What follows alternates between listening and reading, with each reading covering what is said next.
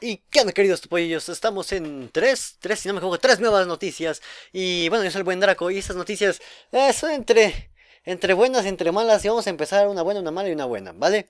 La primera es acerca de un Halo, un Halo llamado Halo Online Que va a hacer un free to play Y bueno, ¿a qué viene esto? Esta noticia creo ya había salido hace, hace unos cuantos días pero no, no le había comentado, nada más así le habían anunciado, hey, va a haber un free to play de Halo, se está desarrollando en Rusia, y ya.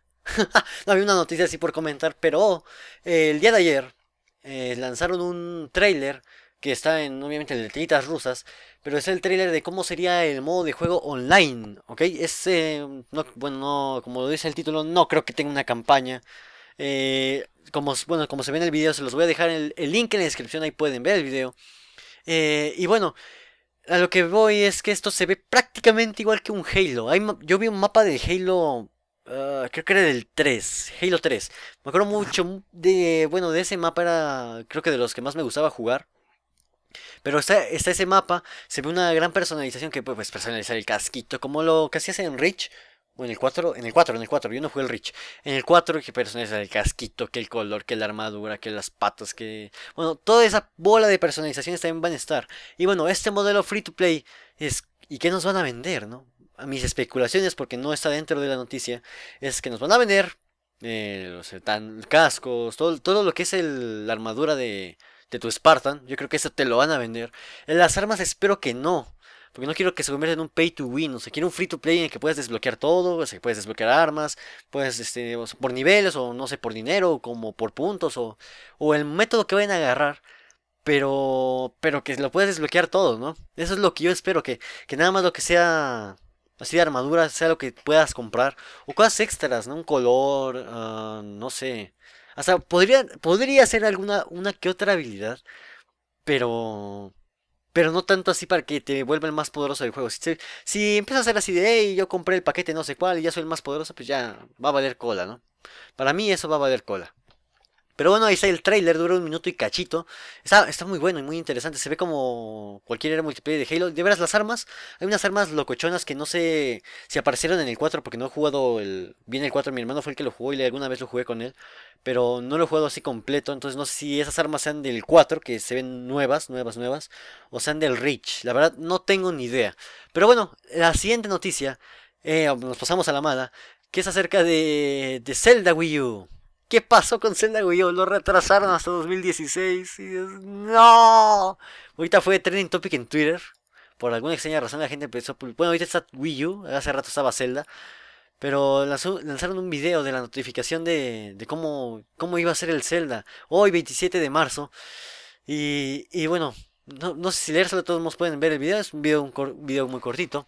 Pero dice, viendo el progreso de desarrollo, he llegado a la conclusión de que en lugar de trabajar con el calendario en mente como objetivo principal y publicar un juego que esté limitado a lo que seamos capaces de crear en un plazo determinado, nuestro objetivo debería ser eh, hacer realidad todas estas ideas, de modo que Zelda para Wii U será el mejor juego posible, explicó Aonuma.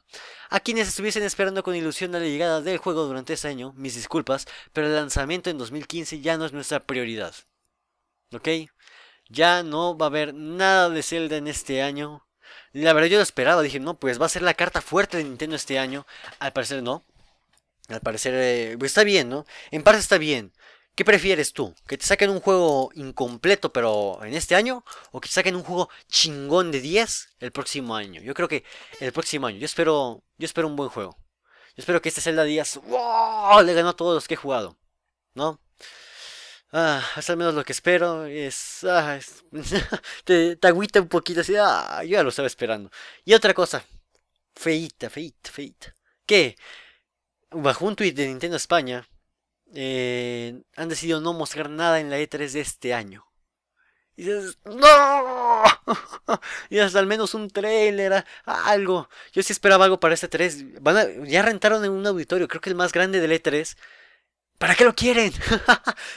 no va a haber este. No va a haber Zelda. ¿Qué es lo que están preparando? Es lo que yo quiero saber. ¿Qué están preparando? ¿Qué tienen en mente la gente de Nintendo? La, carta fuerte para mí era el Zelda. ¿Qué más puedo ver? Ya lanzaron el Mario Kart. Ya lanzaron Smash. Ya lanzaron Super Mario. ¿Qué más puede faltar? ¿Qué es, qué es eso tan impresionante que quieren mostrar, no? Y recuerden que para el 2016 también va a ser la nueva consola, o sea, para el siguiente año que van a mostrar. Bueno, la van a mostrar, no, no va a salir, la van a mostrar el siguiente año 2016, la Nintendo NX. Entonces, yo creo que el siguiente año se va a poner más bueno que este. Ya habrá que esperar qué onda con eso, qué nos van a enseñar. Pero por algo rentaron el auditorio. Yo, yo tengo mi confianza en Nintendo de que no rentaron ese auditorio nada más porque sí. Y bueno, la última noticia es acerca de... De bueno, han creado un remake de, bueno, de Super Mario 64, el primer nivel, y lo han creado con Unity. Yo la verdad no he visto el trailer, pero te lo voy a dejar acá el link igual de la noticia en la descripción para que veas el trailer. Este juego fue creado por un fan y lo puedes descargar, lo puedes jugar en tu PC y es lo que voy a... Lo voy a traer un gameplay del primer nivel. Pero vamos a ver qué tal, qué tal se ve. Dicen que se ve muy, muy, muy chingón.